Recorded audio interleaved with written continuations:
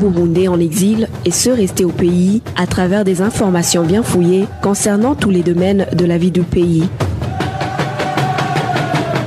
Le magazine Humura Burundi est diffusé sur le web via le site de la RPA www.rpa.bi.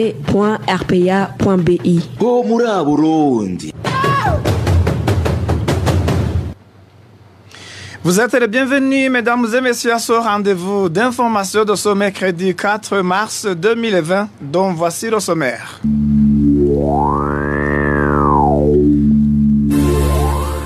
Certains experts proches de la Banque mondiale parlent des fonds détournés par certains dignitaires burundais entre 2004 et 2010. Une grande partie de ces fonds, selon le récent rapport de la Banque mondiale, a été cachée dans les paradis fiscaux. Le premier vice-président reconnaît qu'au Burundi, il n'y a pas de sécurité. Lors de sa conférence de presse après son dépôt du dossier à la CENI, Gaston Sindimo explique que l'insécurité se pressent au vide de garde quand les autorités burundaises lors de, de leur déplacement.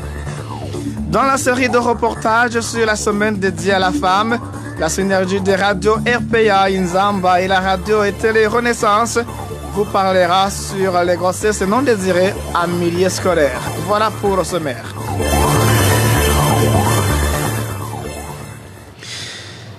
Page gouvernance, tout d'abord, une grande partie des fonds détournés qui sont évoqués dans le récent rapport de la Banque mondiale a été cachée dans les paradis fiscaux entre 2004 et 2010.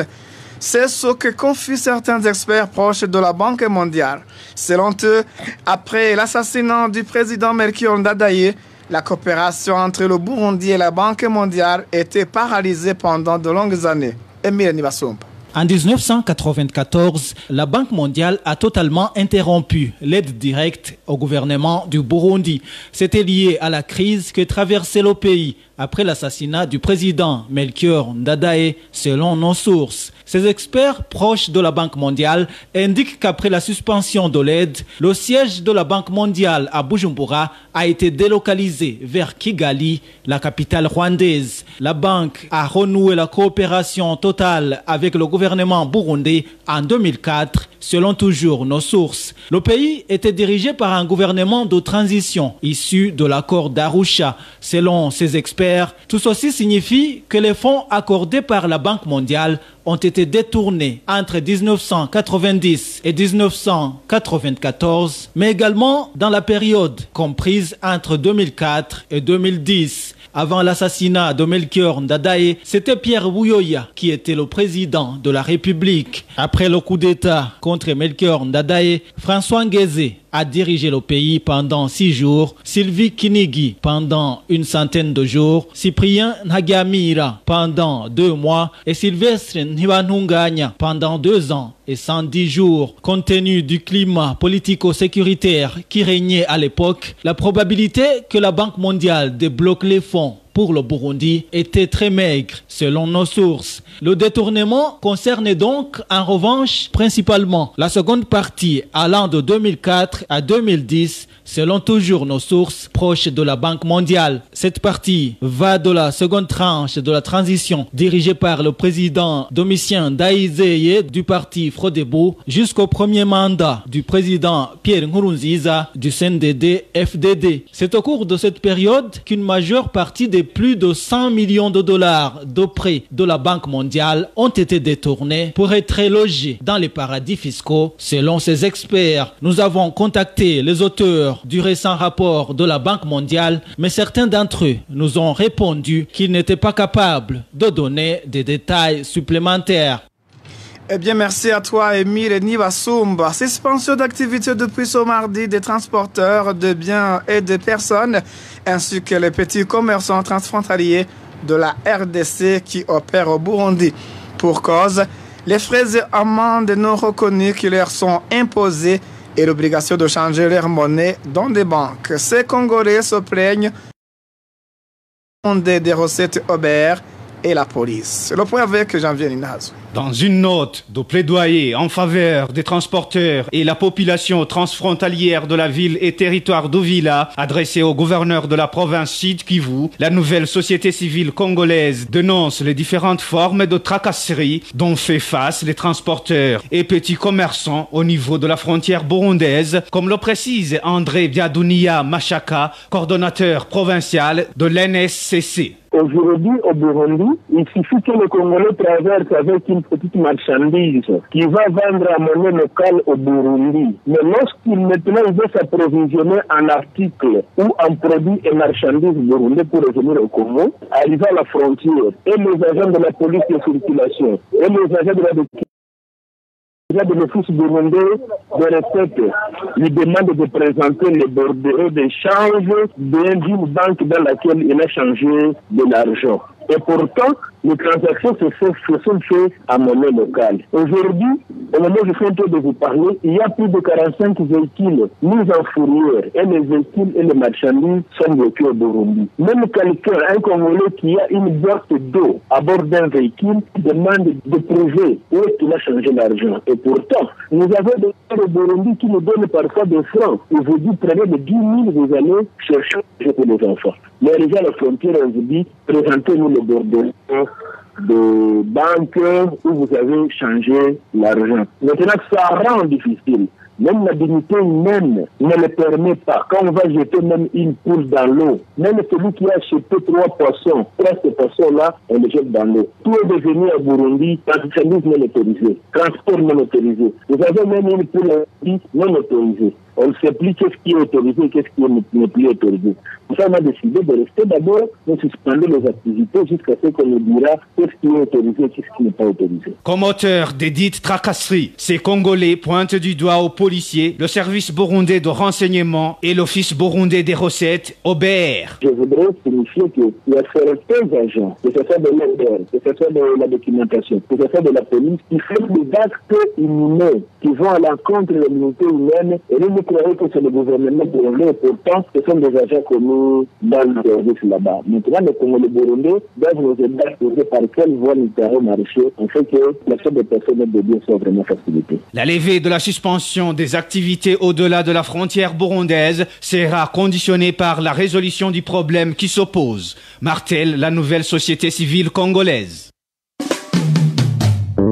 Retrouvez les différentes productions de la RPA sur Facebook, YouTube, Twitter et sur www.rpa.bi.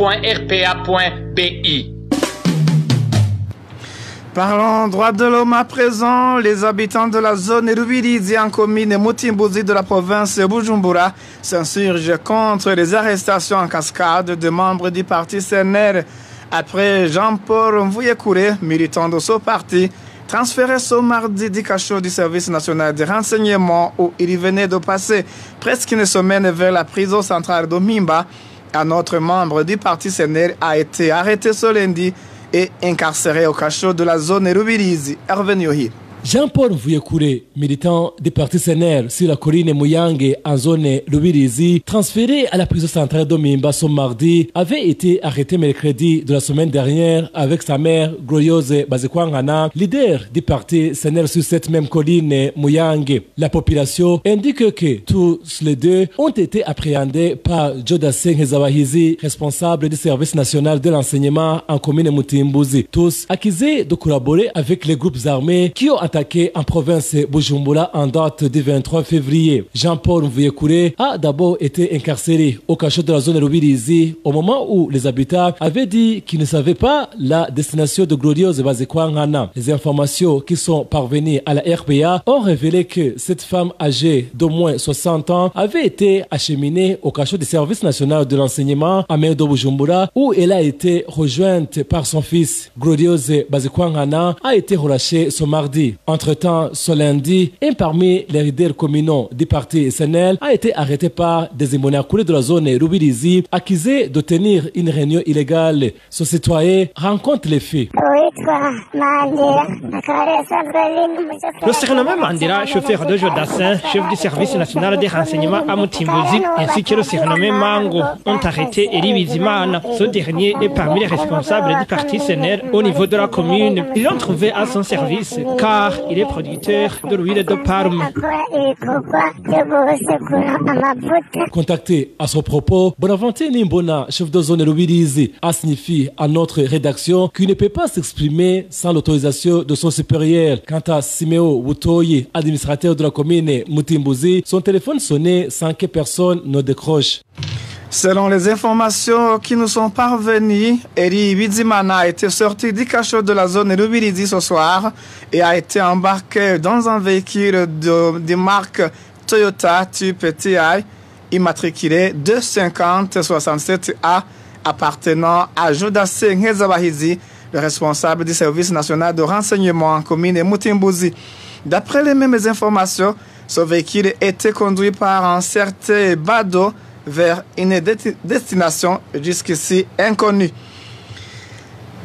Le régime CNDD-FDD compte exposer les restes humains déterrés dans des musées dits de la mémoire. Lors de sa conférence de presse de ce mardi, le président de la commission Vérité et Conciliation a expliqué que l'objet est de ne pas enterrer l'histoire du pays car ces musées contribueront à enseigner différentes générations. Suivez Pierre Claver Ndaïchariye, président de la CENI.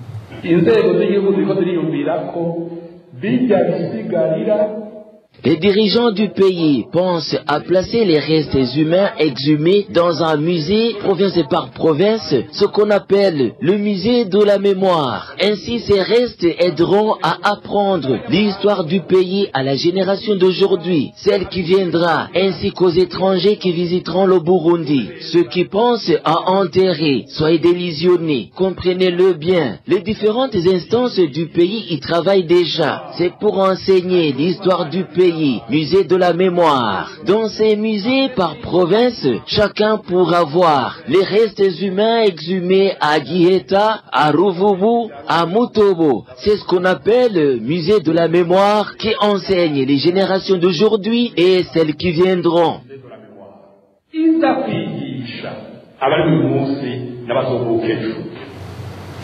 Pierre Ndaïchariye, président de la CVR, a été interprété en français par Innocent Valentin Singirangabo. Exposer les restes humains ne figure pas dans le programme du départ tracé par Arusha, réagit un des politiques burundais qui ont participé aux négociations d'Arusha. Pour Frédéric Bambugunyumvira, le CNDD FDD modifie la mission de la Commission Vérité et Réconciliation pour satisfaire ses intérêts et non l'intérêt général des Burundais. Suivez. Si on en vient de la gestion des fausses communes et des restes, il était dit que l'on devait effectivement exhumer les restes, non pas pour les exposer dans un musée de mémoire, mais c'était pour que ces restes puissent être dignement ensevelis, pour que justement on puisse honorer la mémoire de ces gens-là. Je crois que c'était ça notre option. Et après cela, on devrait s'entendre sur où, construire un monument sur lequel on ne plus, plus jamais ça. Je crois que c'était ça l'orientation de la gestion des restes humains par la CVR. Donc c'est cela qui avait été décidé à Arusha. Maintenant, les exhumer et les exposer dans un, dans un musée de mémoire, ça c'est une invention de la pas en référence avec ce qui avait été décidé à Arusha. Je crois que la gestion de ces problèmes-là, aujourd'hui, je sais, NDDFDD est en train de faire comme il entend, il entend le faire lui-même sans se référer aux autres, sans se référer à ce qui a été discuté par les autres euh, et à Arusha et ailleurs. Cette manipulation du travail de la Commission Vérité et Réconciliation ravivera les tensions ethniques au lieu de réconcilier les Burundais, alerte Frédéric Wamvuginyumvira. Il a eu beaucoup de commentaires, des critiques à l'endroit de cet acte. Premier commentaire, par exemple, les gens disaient, voilà comment euh, il commence par euh, les années, euh, l'année 72, alors que les Burundais ont commencé à être tués depuis les années 62 avec les syndicalistes de Kamenge. Deuxième commentaire, c'est de dire maintenant, est-ce que ces gens-là exhumés sont-ils vraiment des Bahutus Sont-ils vraiment des Batosi Puisqu'on a trois qu'il y ait aussi des bateaux qui ont été enterrés dans ces endroits-là. L'autre commentaire, les gens disent, mais ces Bahutus de 72 qui sont en train d'être exhumés, comment justement gérer ces Bahutus qui sont en train d'être tués aussi aujourd'hui. La semaine passée, vous avez entendu une vingtaine de personnes tuées, des Bahutus essentiellement, et comment eh, honorer les Bahutus et déshonorer les mêmes Bahutus en les tuant par le même pouvoir? Eh, on n'est pas en train de suivre la voie de la réconciliation telle que pense Arouja, mais on est en train de suivre la voie de la désunion, la voie du conflit, au lieu de réconcilier les Burundais. Euh, justement, ça provoque d'autres problèmes de réconciliation, de désunion, euh, de distanciation ethnique, ce qui risque justement de nous causer beaucoup de tort et constater qu'au lieu de avancer politiquement au niveau de la réconciliation, au niveau de la, de la tranquillité des esprits, on, risque de revenir à case départ. Toujours en page politique, le premier vice-président reconnaît qu'au Burundi, il n'y a pas de sécurité. Lors de sa conférence de presse après son dépôt de dossier à la CENI, Gaston Sindimo explique que l'insécurité se pressent au vu des gardes qu'ont les autorités burundaises lors de leur déplacement. Aujourd'hui, un général ou bien un chef de cellule se déplace avec un effectif de 20 policiers pour lui assurer sa sécurité. Un chef d'un parti politique ou un chef collinaire se déplace avec deux policiers car il a peur. Et qu'en est-il pour un petit paysan qui ne peut pas se permettre cela? À l'UPRONA, nous voulons tranquilliser toutes ces catégories de personnes. Les autorités, les simples citoyens, bref tous les Burundais. Nous voulons également tranquilliser les pays voisins que la paix règne au Burundi. Lutter contre le chômage, augmenter la productivité dans différents domaines et la cohésion nationale sont quelques-uns des projets qui ont été prononcés par Dieudonné Nahimana dans une conférence de presse de ce mercredi en tant que candidat au présidentiel de mai 2020. Dieudonné Nahimana a organisé cette conférence de presse après avoir déposé cet après-midi les documents exigés par la CENI.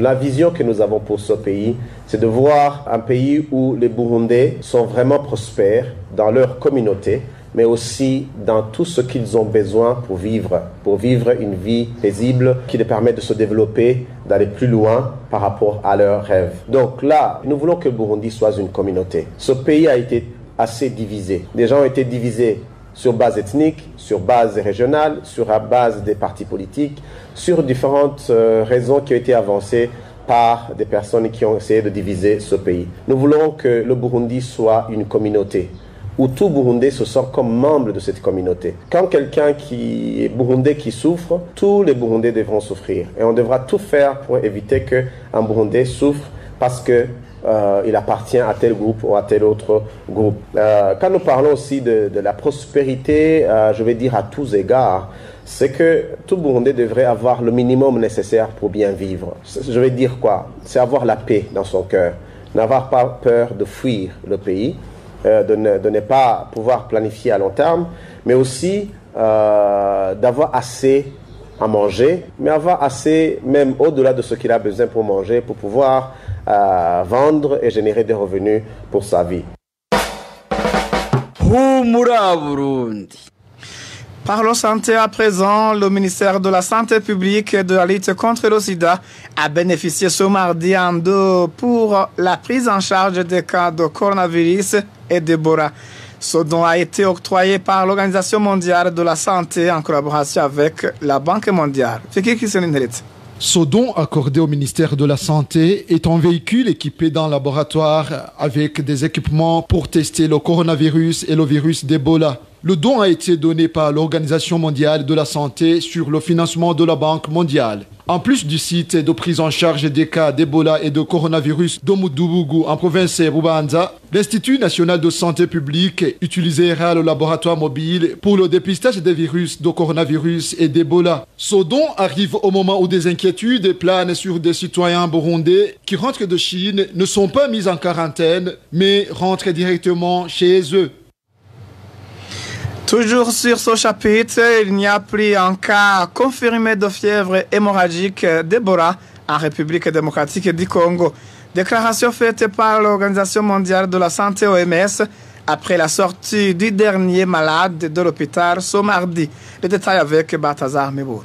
L'Organisation mondiale de la santé, OMS, indique que le dernier malade d'Ebola était originaire d'Obéni dernière zone touchée à l'est de la République démocratique du Congo. La directrice régionale de l'OMS pour l'Afrique a déclaré dans un tweet qu'il n'y avait actuellement aucun cas d'Ebola à Beni, dans l'est de la République démocratique du Congo. Selon le porte-parole de l'OMS à Kinshasa, l'épidémie d'Ebola sera néanmoins officiellement terminée dès que l'on aura atteint 42 jours sans aucun nouveau cas enregistré. Le ministère de la Santé de la RDC s'est félicité que depuis 13 jours consécutifs, aucun nouveau cas n'a été enregistré. Toutefois, 300 cas suspects sont sous investigation. L'épidémie d'Ebola avait réapparu en août 2018. Depuis cette date jusqu'à présent, cette épidémie a emporté plus de 2200 vies humaines. L'OMS a fait de cette épidémie une urgence sanitaire de portée internationale en juillet dernier car elle a menacé les pays voisins. Une maladie diarrhéique s'est déclarée au camp des réfugiés d'Onduta en Tanzanie.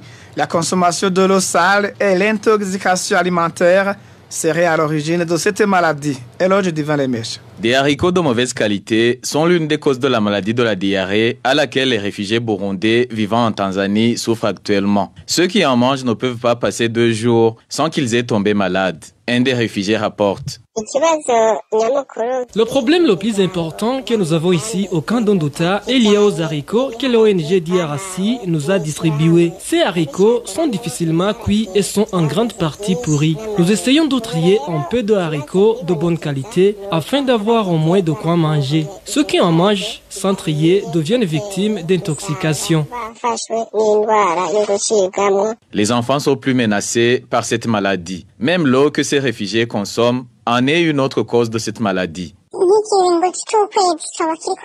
Il y a à peu près un mois que ces maladies se font remarquer. Depuis les dates du 17 et 18, cette maladie se remarque sur des individus qui ont mangé des haricots. En fait, depuis que nous avons réussi des haricots, nous avons été victimes d'intoxication. L'autre cause, je crois que c'est l'eau que nous consommions et même les médicaments pour rendre propre l'eau ne sont pas efficaces à 100%. Pour le moment, les réfugiés demandent les organisations non gouvernementales œuvrant dans les camps de leur venir en aide afin d'obtenir des vivres de bonne qualité. Nous demandons au HCR et au DRC chargés de nous approvisionner en nourriture ici dans le camp d'Onduta de bien vouloir nous venir en aide pour obtenir des haricots de bonne qualité. La rédaction a essayé de contacter le HCR Tanzanie pour s'exprimer à ce sujet, mais en vain. Dans la série de reportages sur la semaine dédiée à la femme, la synergie des radios RPA, INZABA et la radio et télé Renaissance vous parlera sur les grossesses non désirées en milieu scolaire. Défenseurs des droits de la femme, professeurs d'université et sociologues, tous déplorent le traitement infligé à la fille en cas de grossesse non désirée.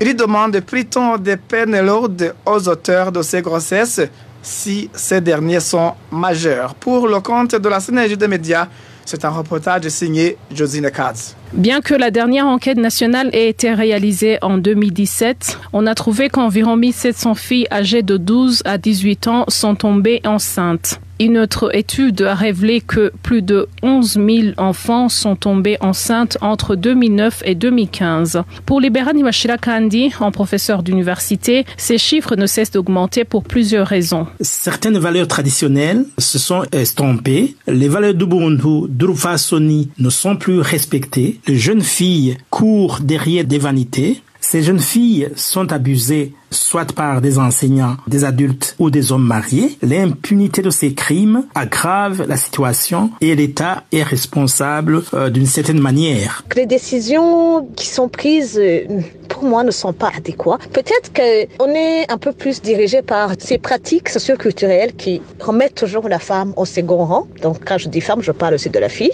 qui remet la femme et la fille au second rang, et que chaque chose qui arrive dans la vie d'une fille, c'est toujours sa faute. Personne ne pense qu'il y a des choses qui ont fait que ceci ou cela arrive. Il y a des mineurs là-dedans. Il y a des mineurs. Et la loi burundaise dit que les mineurs ne peuvent pas consentir au rapport sexuel, ce qui signifie que ça devient un viol. Donc, ces filles ont besoin d'être protégées, elles ont le droit d'être accompagnées pour reprendre l'école. Des actions sont nécessaires pour aider la fille enceinte à ne pas se sentir abandonnée. Selon le sociologue Paul Hunzimana, il faut des lois sur la protection des enfants qui tombent enceintes, sans oublier des lois pénales contre les auteurs de ces grossesses, si bien sûr ceux-ci sont majeurs. Il faudrait plutôt aider l'enfant, aider l'écolière ou l'élève, euh, disons, à éduquer euh, son enfant, euh, bon, disons, pour une durée d'à peu près une année pour lui permettre de retourner à l'école parce que l'école, c'est sa place. Bien entendu, comme je, l'ai indiqué tout à l'heure, évidemment, le viol, c'est un crime. C'est un crime abominable. Donc, c'est pour cette raison que, évidemment, il s'impose de pouvoir réprimer de manière exemplaire ce genre de crime pour, disons, permettre que la société puisse Notez que même un garçon de moins de 18 ans, lorsqu'il engrosse sa camarade d'école, est lui aussi renvoyé et retourne à l'école après avoir écrit une lettre pour demander pardon, tout comme la fille qui tombe enceinte.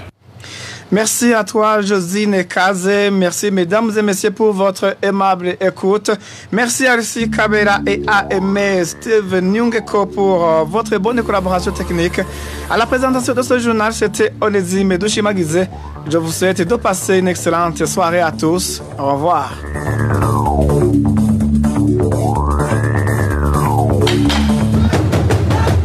C'était le magazine Rumura Burundi.